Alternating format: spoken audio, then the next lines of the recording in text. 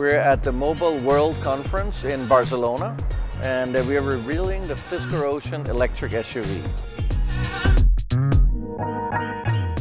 We chose the Mobile World Conference for the launch of the Fisker Ocean because it's all about technology and the Fisker Ocean is all about technology. We got the latest technology.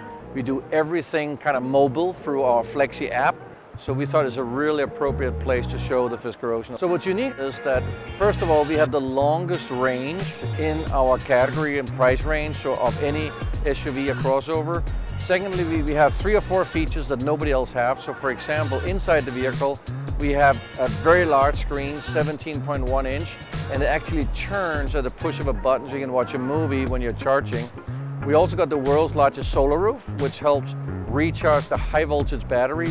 And then of course we've got California mode where you can put a surfboard in, in the back if you want or something else that's, that doesn't fit in the car normally or just have fun opening all the windows.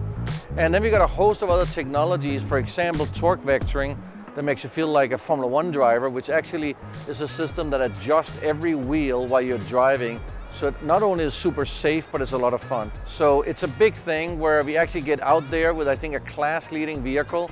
So we are super excited about it.